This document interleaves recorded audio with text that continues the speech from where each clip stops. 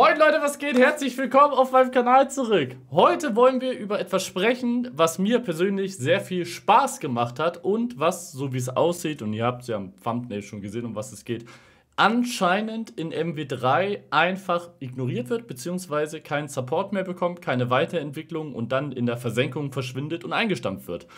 Der DMZ-Modus. Meiner Meinung nach ist von all dem Dreck und Scheiß, den wir mit MW3 bekommen haben, der DMZ-Modus der mit Abstand oder die mit Abstand beste Neuerung, die wir bekommen haben.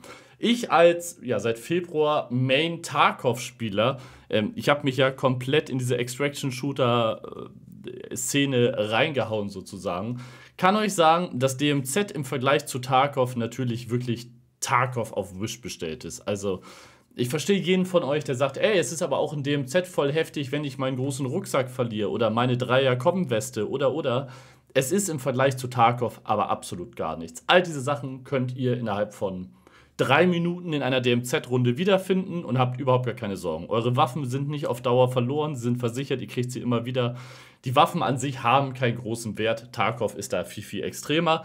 Aber es soll nicht um den Vergleich gehen, sondern um die Tatsache, dass mit dem Z ein Modus reingebracht wurde, den wir so in Call of Duty noch nie hatten und der meiner Meinung nach sehr viel Spaß macht, aber eben auch einige Sachen einfach nicht umgesetzt bekommen hat, die dafür sorgen würden, dass auch die Spielerzahlen noch deutlich höher werden, als dass sie sowieso schon sind.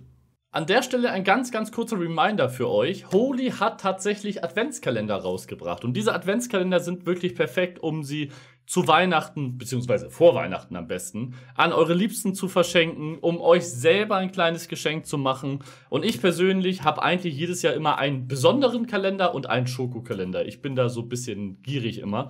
Und dieses Jahr bei mir wird es wieder so ein 5 Euro Schokokalender sein, wahrscheinlich, weil ich diese Kinder Kinderschokoladenkalender nicht so geil finde. Einfach viel zu teuer. Und dazu wird es einen Holy-Kalender geben. Ich bekomme den ja Gott sei Dank von den Jungs geschenkt. Bis zum 3. Oktober bekommt ihr auch noch Rabatt darauf drauf und ihr könnt meinen Rabattcode nehmen. Und ich kann euch nur empfehlen, ihr habt bei dem Squad Adventskalender einen großen Vorteil. Es gibt eine nagelneue Sorte, die ich nicht kenne, ich kenne sie noch nicht, die mit drinne verpackt ist. Das heißt, wenn ihr euch oder euren Liebsten ein cooles, wirklich sehr, sehr cooles Geschenk machen wollt, meine Empfehlung für euch. Fangen wir bei DMZ mit dem Problem an, was ich relativ am Anfang schon mal in dem Video erwähnt habe, was sich bis heute nicht geändert hat. Es gibt in dem Sinne kein Ökosystem, keinen richtigen Markt, bei dem man mit den Sachen, die man extrahiert, etwas wirklich Wertvolles kaufen kann in großem Maßstab, anders als einfach XP dafür zu bekommen.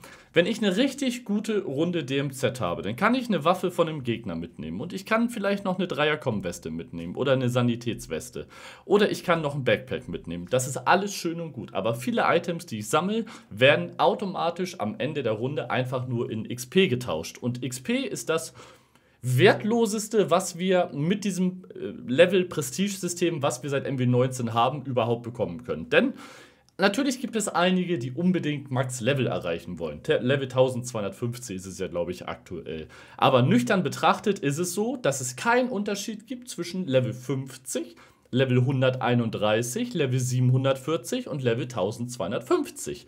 Ihr habt keine Game-Breaking-Unterschiede, keine riesengroßen Vorteile, kein gar nichts. Das heißt, dieser Incentive zu spielen, damit man eben etwas bekommt, ist da müssen wir den Vergleich zu Tarkov ziehen, ganz, ganz anders. In Tarkov könnt ihr mit Sachen, die ihr aus dem Raid rausnehmt, wenn ihr überlebt, könnt ihr verkaufen auf einem Fleemarkt, also auf einem öffentlichen Markt sozusagen, an andere Spieler und könnt mit dem Geld, mit den Sachen, die ihr verkauft habt, euch bessere Waffen kaufen, bessere Waffenaufsätze, bessere Rüstungen, bessere Rucksäcke, bessere Helme, bessere Headsets. Ihr könnt euch unfassbar viel kaufen.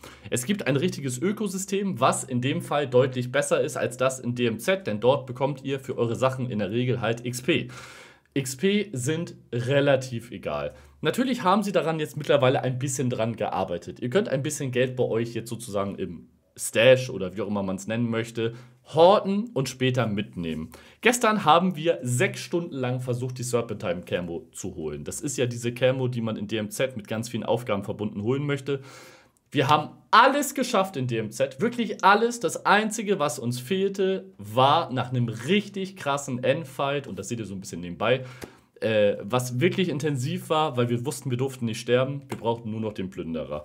DMZ ist das einzige an MW2, was mich seit Monaten überhaupt dazu bewegt hat, die Konsole anzuschmeißen und Tarkov mal einen Tag zur Seite zu schieben und zu spielen. Und jetzt ist es so, dass eben laut sehr, sehr vielen Gerüchten DMZ eben zwar noch verfügbar sein soll, während MW3 dann sozusagen ganz rauskommt, aber eben kein Update mehr bekommt, keine Season mehr bekommt, keine neue äh, Map sozusagen. Wir haben ja verschiedenste Maps für DMZ mittlerweile, was ich cool finde, was ich auch notwendig finde. Und die Begründung dahinter soll wohl sein, dass die Spielerzahlen nicht so sind, wie Activision oder Infinity Ward äh, sich das vorgestellt haben. Und natürlich gehen die Spielerzahlen zurück, wenn man auf Dauer in DMZ kein Goal hat, kein Ziel, auf das man wirklich spielen möchte. Und eins der größten Ziele wäre eigentlich, dass man eben seinen persönlichen Reichtum, seine persönliche Ausrüstung auf ein Maximum ausbauen möchte. Dafür bräuchte man gar nicht viel. Man bräuchte nur ein Ökosystem, was uns erlaubt, die Items, die wir aus einer Runde mitnehmen, für mehr Geld öffentlich zu verkaufen oder für viel, viel Geld so zu verkaufen, dass wir von diesem Geld, was wir dann eben einnehmen, uns bessere Sachen außerhalb eines Raids kaufen können. Das haben sie bis heute leider nicht hinbekommen, dass man das so umsetzen kann. Was also bedeutet, für viele ist es mittlerweile so, sie spielen diese komplett kaputte Lockwood Shotgun mit einer Sniper in einem Dreierteam auf einem Dach und campen Shops ab. Und entweder campen sie jemanden ab und freuen sich oder ja, sie gehen wieder raus. Das habe ich festgestellt, ist für viele mittlerweile DMZ. Das sorgt natürlich auch dafür, dass viele Leute nicht wirklich langfristig großes Interesse hegen, diesen Modus weiterzuspielen. Das nächste Problem ist, und da will ich gar keinen angreifen, aber die Zombie-Community möchte natürlich jetzt auch wieder einen Zombie-Modus haben. Und so wie es aussieht, sind die Ressourcen, die man seitens Sledgehammer und den unterstützenden Studios hat, halt so begrenzt, dass man eben jetzt in MW3 diesen DMZ-Zombie-Modus rausbringt, was dann eben rein PvE ist. Ist ja für einige auch das, was sie wollen. Andere wollen halt PvP. Für mich ist ein Extraction-Based Shooter PvP. Also wenn ich gegen jemanden im Gunfight verliere und er meine Sachen nimmt, ist das Bruchgefühl extrem. Genauso ist aber das High, was ich habe an Dopamin und Adrenalin, wenn ich einen Squad in Tarkov auslösche und mit 80 Kilo Gepäck von denen rausgehe, genau das Gegenteil, was ich eben auch haben möchte. So wie es aussieht, wird dieser DMZ-Zombie-Modus dieses Jahr wieder supported oder neu supported, neu dazugebracht und dafür wird DMZ, PvE, PvP in dem Fall zur Seite geschoben etwas, was wir seit Jahren in Call of Duty sehen, ist, dass teilweise gute Modi in einem Game implementiert werden und dann einfach in die Tonne geworfen werden. So, das wird gar nicht weiter supported. Bestes Beispiel Cold War, Fireteam Dirty Bomb. Dieser Modus war ja laut Gerüchten, ob stimmt oder nicht, ursprünglich geplant als Blackout 2. Das wurde dann in die Seite geschoben, weil Warzone eben viel erfolgreicher war, als man das eigentlich geplant hat.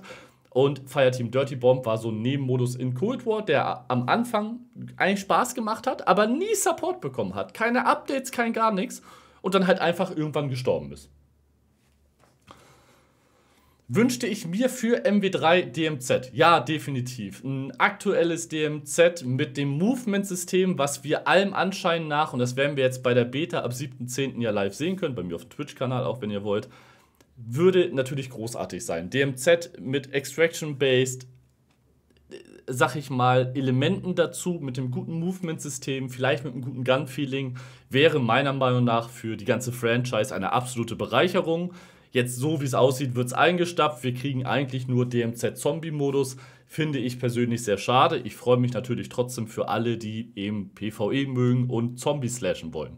Mich würde interessieren, was eure Meinung dazu ist. Lasst gerne ein Like da, lasst ein Abo da und wenn ihr neu seid auf dem Kanal, checkt unten die Videobeschreibung ab. Wir haben noch einen zweiten Kanal für DMZ-Gameplays, für Tarkov-Gameplays, für Reactions, für alles Mögliche. Ich bin raus, wir sehen uns.